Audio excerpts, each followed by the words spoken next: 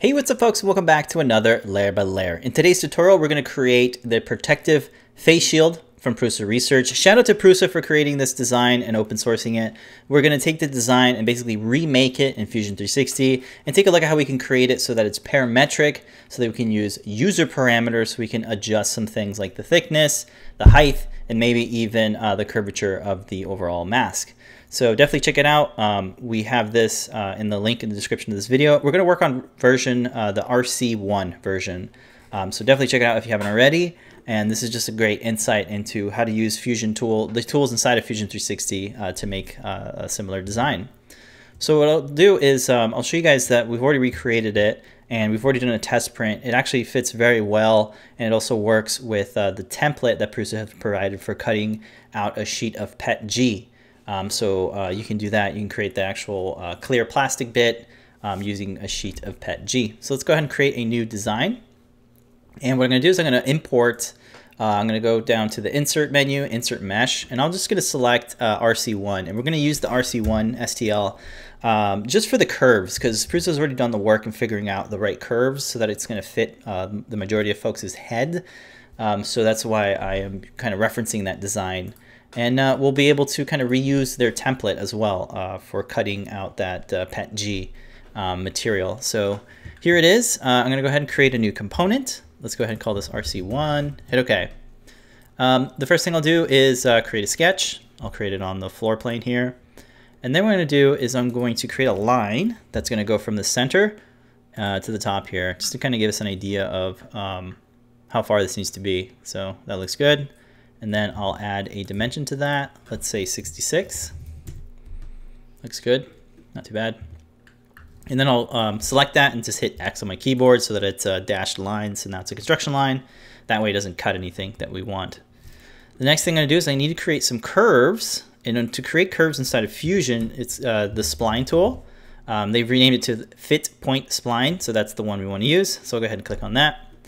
And I'll start from the top here where that first dot is. So I'll go right there and we'll go somewhere down here and then maybe finish it off about right there. We have to hit this green checkbox in order to append those. And right away, you'll see those green handles were automatically created. I'll hit escape on my keyboard and uh, you can start dragging these handles. What I want to do is you can actually apply some constraints to the handles themselves. So with that handle selected, I want to make it, I want to straighten it out so it's nice and flat. So I'll select the horizontal vertical constraint and then I'll also do that to the side here as well. So I'll just click on that and that smooths it out for me. So now with that, um, I can start applying some dimensions to some of the other things like uh, this dot here, for example. So say I want a dimension from this point to the center point going straight across like that. We'll say uh, 56 is probably a good number. 57 looked okay too though. 57. Okay, that looks good. And then uh, from this point to the center point going out this way, going up and down instead of across, um, let's say 12 or so is looking okay. All right. And then what I want to do is it looks like it's a straight line that goes from here to here. So I'll just go ahead and grab my line tool with the hotkey L, where you can just search for it in the search toolbox. And I'll start it from this point here and then just go away somewhere like down there and hit OK for that. Now there's a bit of a between this one and between that curve and this line, I want to make it super smooth. And the way to do that is to apply a tangent constraint. So once I do that, you'll see that it, it nicely follows down and, and gets really nice and curvy with that. So that's looking good. Next thing I want to do is apply a length, a dimension to this edge itself. So I'm going to start pulling that out. And let's go ahead and say it's 44. Hit OK. Looks good. And then what I want to do is create uh, some more dimensions from this point that connects those two lines. And then again, we'll use our center point as a way to, uh, to establish a, a, a, distance. Looks like 40. We'll round that off to 40. And then from here to here, going out this ways, we'll say 31. That looks pretty good. All right. So that's our first line. Um, we could also start doing uh, dimensions to the Bezier curves, the handles themselves. So with it selected, hit D on my keyboard and pull out a dimension. Looks like uh, I can give this a dimension of like 26 to round that out. And then we'll do that to the top here as well. Dimension, let's say 32, and just kind of smooth that out a little bit, or just to round off those edges. So I can see that's looking pretty good. All right. Another thing we want to do is um, probably apply a, um, a, a, degree, an angle of degree to this line here. I want it to be perfect. So I'm going to grab the line tool and I need some sort of way to kind of reference. Um, so I just need a line really. So I'll, I'll start from the center and go out this way going on the x-axis. It doesn't matter how long it is really because we're just using it to create this degree. So I'll select this, hit D on my keyboard, and then I'll select this.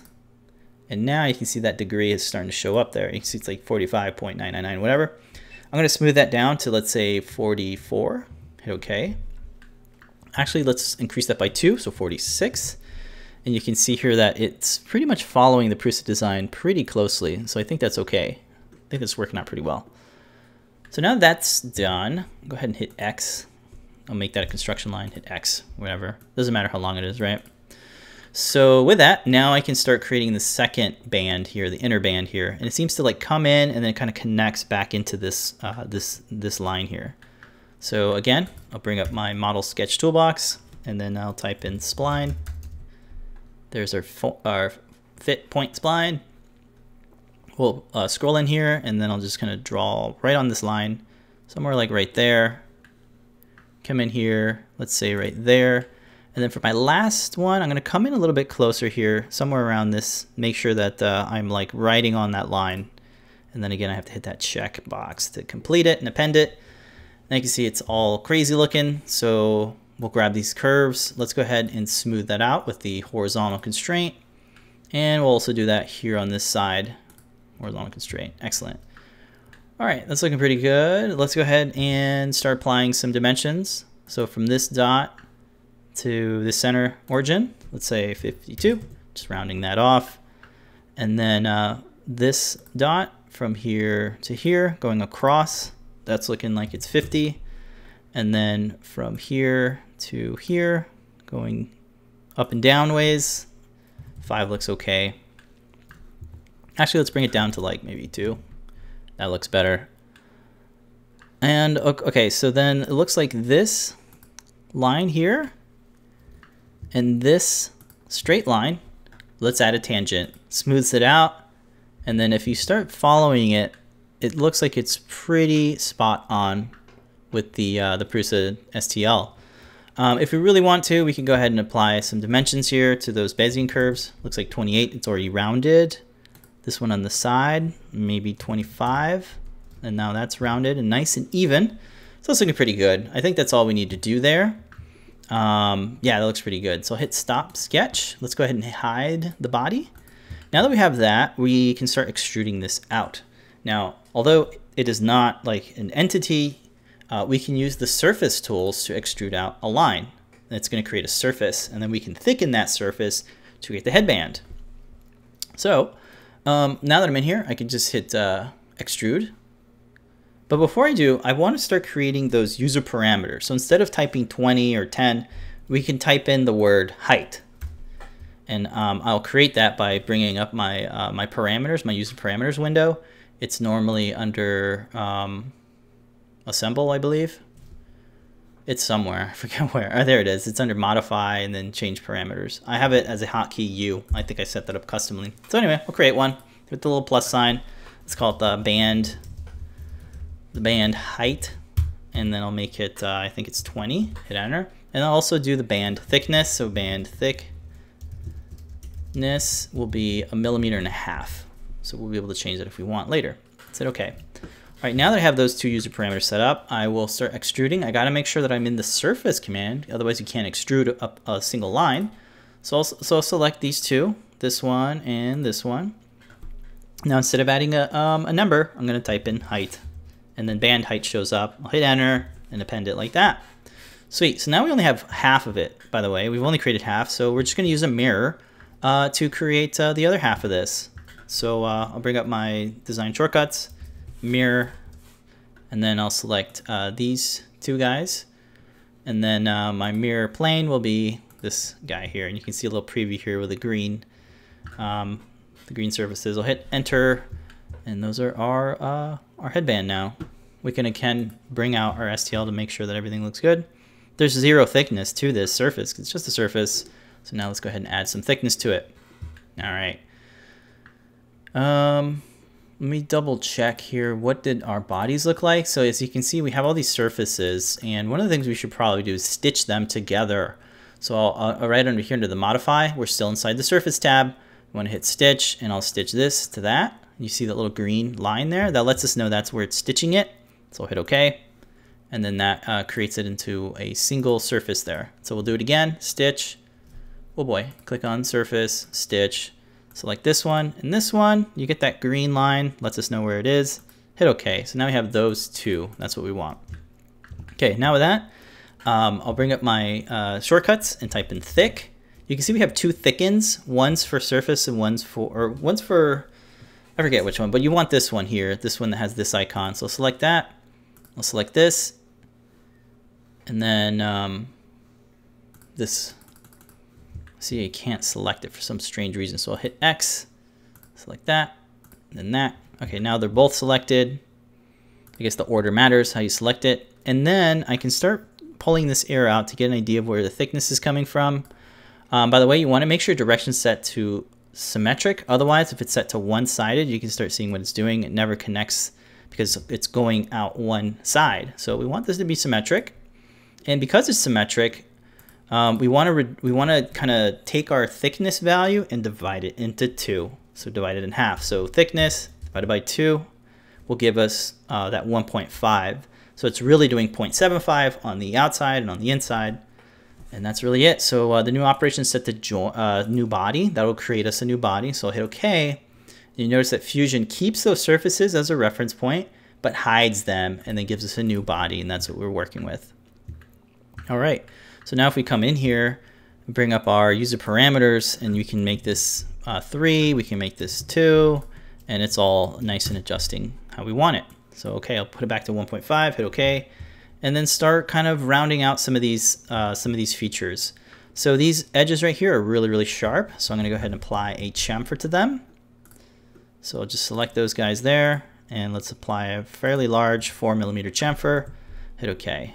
Now we can use the fillet tool. The hotkey is F on my keyboard, and then uh, I'll select these really sharp corners here and if I give it a one millimeter fillet, you'll see that that made it jump all the way up here. And that kind of creates, it smooths out um, the tool path when we're printing it and it just creates a stronger joint. Um, so definitely add those there. Hit OK. Now if we reference our Prusa um, STL, you can see that's looking pretty similar there. A little bit off, but I think it's pretty close. All right, so now that we have that, really the last things to do is those nubs. You can see here in the design here, there's this nub here on, on both ends there, and those are for elastic bands or rubber bands or whatever as a, as a way to strap it so it stays on your head. It's really important to have those. So go ahead and hide the body and start drawing a new sketch here. I'm gonna go back to solid because we don't need the splines or surfaces anymore. So I'll create a new sketch and do it on the bottom here. Um, it's going to be a mirrored thing, so I'm just going to do it on one side and then just mirror everything to the other side. Since I want it to be uh, right up against this surface, I can just grab one of these edges from that surface and project that in using the uh, hotkey P for project. Hit OK, and now I have that purple line there that I can use as reference. So what I'll do is I'll grab my line tool and start drawing out um, some rectangles like that. And what I'll do is I will select this line and this line, and I need them to be perpendicular with each other. So I got that constraint, perpendicular. And then also what I want to do is start kind of making these corners square and true by using a perpendicular. So I'll say I want this and this to be perpendicular, this and this to be perpendicular, and I can even do this and this to be perpendicular. And that way it's all nice and true.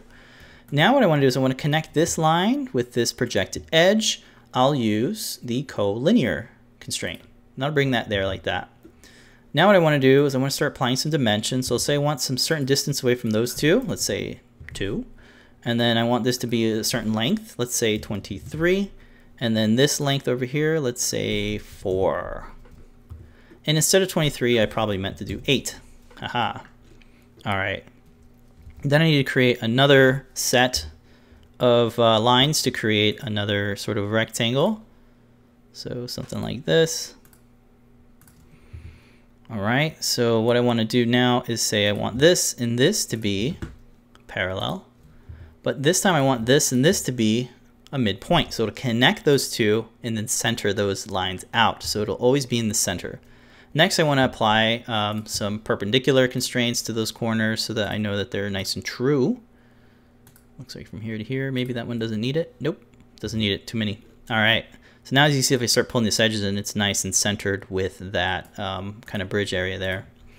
Now I want to add a dimension to this, let's say 23. And then over here, this will be, I think it was five, yeah. And that's really all we need to do there. That's our nub. I'll hit stop sketch and then I can start extruding these two rectangles. We're gonna go up, something like that. Now we don't wanna start it from the bottom. We actually wanna start a little bit ways from the bottom. So to do that, we can sit start, change profile plane to offset plane, and I'll just add a number two here. And then our distance, let's go ahead and make this 13 and hit okay. Now, because we have this giant overhang now, we won't be able to print that. So what we want to do is we want to make this a 45 degree draft. So I'll bring out my draft tool and select this surface as the plane and then this surface as the face. Um, Fusion remembered my value from last time, but if it wasn't, you would just either enter it in or play with this kind of handler here, 45, hit OK. Okay, now that that's set up, I can start rounding off these edges a little bit. But before I do, you're going to notice that there is this overhang here this sort of T-shape. These lines here, awful for printing. So what we need to do is we need to cut them off and add a bit of a chamfer or something here so that this is all going up 45 degrees. So the best way I found to do so is to just grab one of these surfaces and then create a surface, uh, create a sketch right onto that surface. So what I'll do is I'll sneak in here and grab these bottom edges and project them into that sketch. So that one and that one. So you see two, hit OK. Now we have those two purple edges A little bit hard to see, but really all I need to do is hide the body. And then I need to create this, um, this sort of wedge here. So something like something that goes like from here out, down, and then connects this to close that off. All right. I got an automatic uh, parallel uh, constraint, which is pretty good actually. But I do need to create a, uh, a, a specific degree from here to here. It's going to be 45. All right. And then this right here, let's go ahead and make that 12. Why not? Now I could just mirror this set of stuff, but I need something to mirror. I need some, I need a line or something. So since these two are um, really relative to each other, I'll just connect that line there, find my midpoint, go up, make sure that it's uh, nice and straight. And then I can just double click, well, let me click on this, deselect that, and then uh, hit mirror, mirror this sketch here, these three lines with this center line here, and then that's it. Nice. So now I can grab those triangles, really, and then start extruding them out. Let's bring back body, and then you can see what it's cutting away. So it's cutting away at those, uh, at that T shape, so that it's way better for printing. So now that I have that, um, I can smooth out this stuff, right? So I'm going to bring out the fillet tool, I'm gonna fill it, I'm gonna round out these edges here. Now, this line here is about five millimeters, so five divided by two, 2.5. You see here I got that nice, smooth, rounded angle there, and I'll do it on the other side as well. 2.5, 2.5, there you go. I'll create a new set, a new selection, using that plus button, and I'll select these edges here. The distance between this and this are about four, so divide that by two, it's two. So I'll select these other sides there. And now you can see I'm rounding everything out there. There's a little bit of, a, of, an, of an edge here, but that's fine. It resolves fine when you print it. And the last thing I'll do here for this nub is apply a chamfer to this top edge there of a one millimeter. That way it, it rounds it out a little bit. So now I have that whole set there, I can start mirroring this nub. So I'll bring out my mirror. I'll make sure the pattern type set to uh, the pattern type set to features, and then I'll select starting from this one over here, our draft, another extrude, another fillet, and our chamfer. And then the mirror plane will be this guy here. There we go. So now that's added it to the single body. So we just have one body. It's looking good. if we reference our Prusa STL, you can see here that's pretty close. And uh, looks like all we need now is those four nubs that go across the outside band here. Cool. So with that component still selected, I'll create a new sketch. Again, drawing on the floor plane. Let's start out with this one at the top here. Because it's, um, you know, everything's symmetric, I'm just going to draw this one and this one and then mirror those two nubs. And hopefully that'll work out well. So uh, for this, I could just use a regular rectangle. Something like that. Let's give this a dimension of 5 by 12. I'll go ahead and um, create a line that connects these two together, make it a construction line. and I can move this around. I think I want to do this line, the center line, to the center origin. Let's say 28.6. And then from this tip to the center point,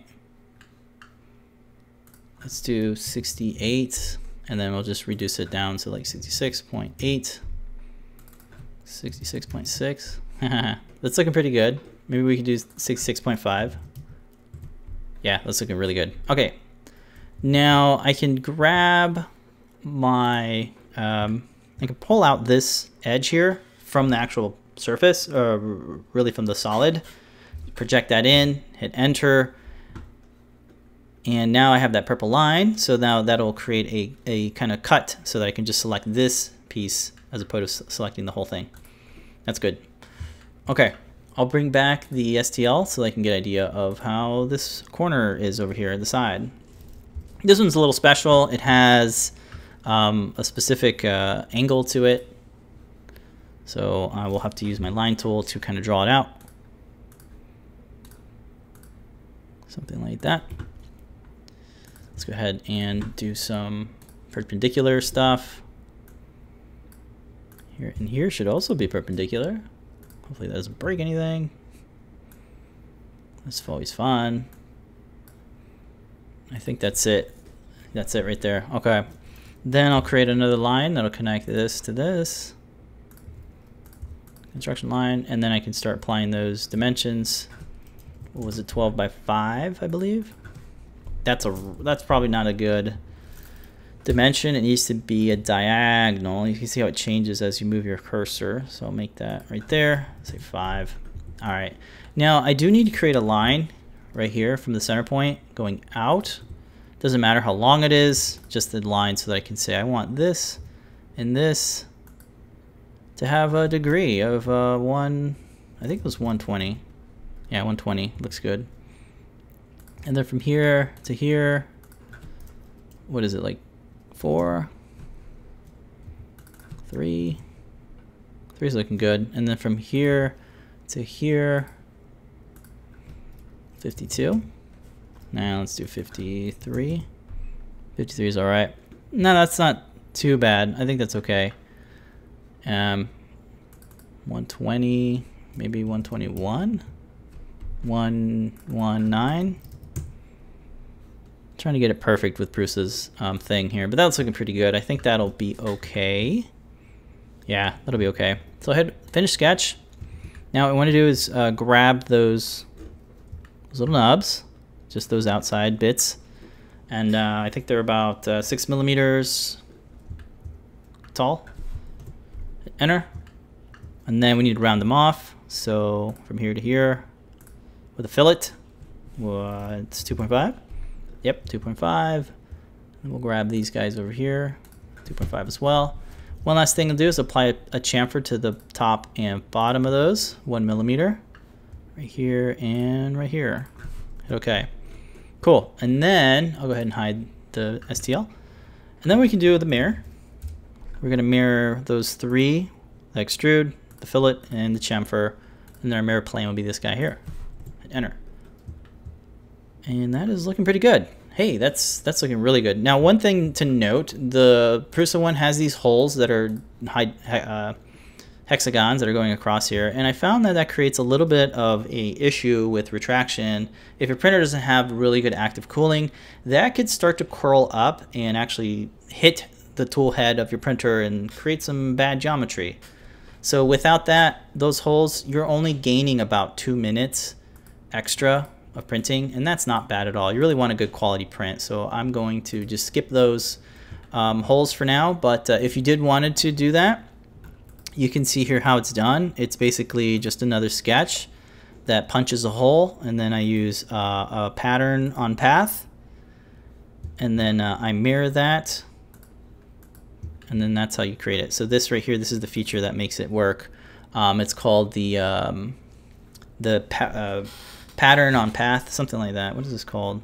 Path pattern. So you can just type in path pattern pattern on path. You select that, and then you can select this guy here, and then you would select this extrude as uh, as your feature to uh, to patternize, and then you can uh, you have these options here: quantity, distance, distance type is set the spacing, and then you want your operation to be um, path direction.